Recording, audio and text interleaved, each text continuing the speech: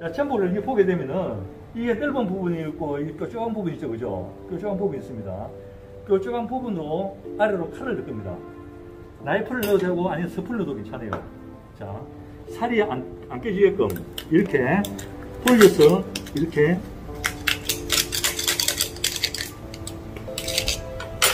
이렇게 땁니다. 땄죠, 그죠?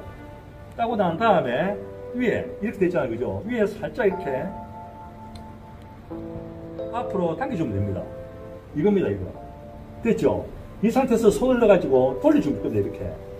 돌려주면 몇 가지 나왔습니다. 깨끗이 나왔죠, 그죠? 깨끗이 나왔습니다. 이렇게 이제 전복 살과 껍질을 해체하는 방법입니다. 자, 그러면요, 내장이 있죠, 내장, 그죠? 내장 있습니다. 내장이 있는데, 내장을 어떻게 따느냐 하면요, 놓고, 이 보면 전부 눈이 있어요. 눈까지 다 줍니다, 이렇게. 이렇게 깨끗이 따줍니다, 이렇게. 이렇게 따주면 됩니다. 그죠? 따주고. 자, 내장이 있는데요. 자, 내장을 한번 볼게요. 자, 이 부분은 지금 굉장히 딱, 문 부분이라 딱딱합니다. 딱딱한 부분을 이렇게 떼주고요.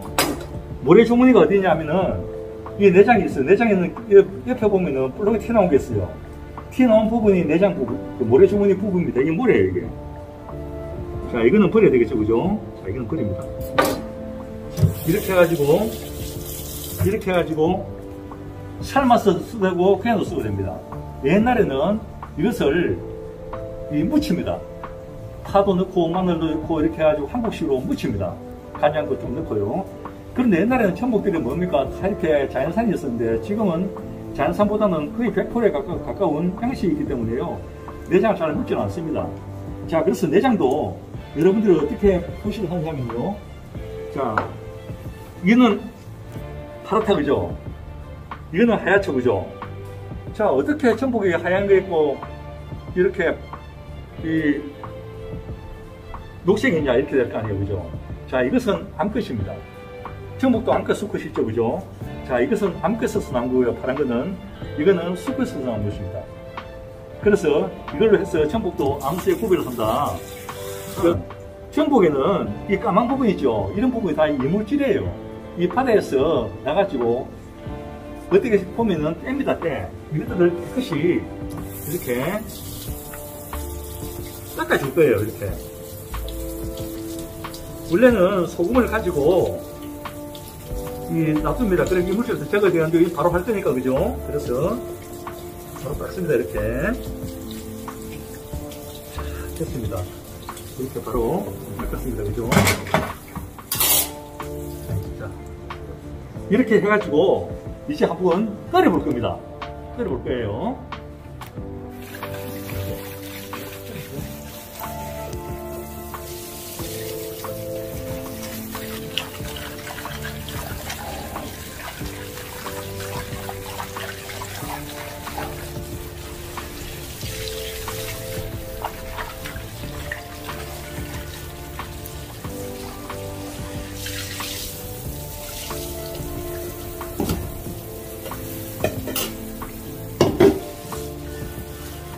자, 물을 붓고요.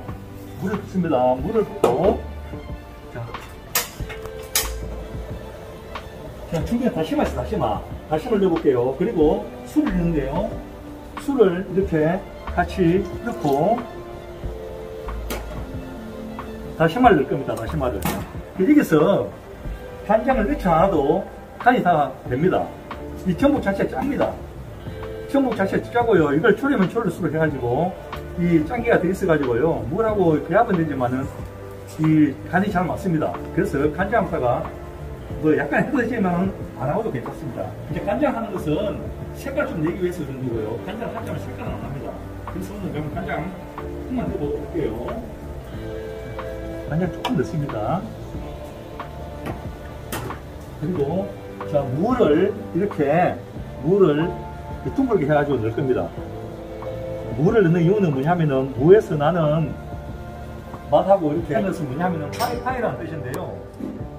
그런 것들을 일본에서 많이 합니다. 이를테면은 어란 있죠 어란.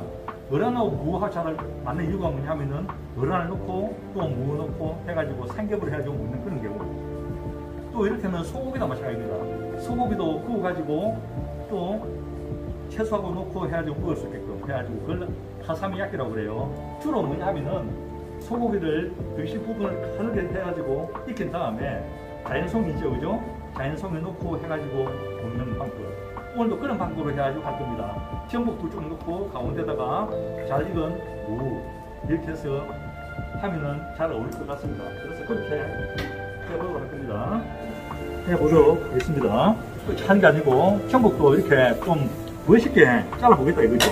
그래서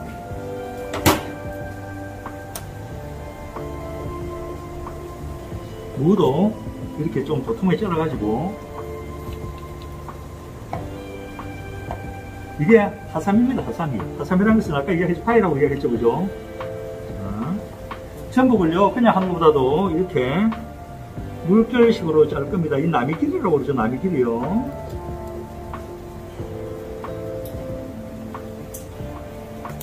이렇게 잡습니다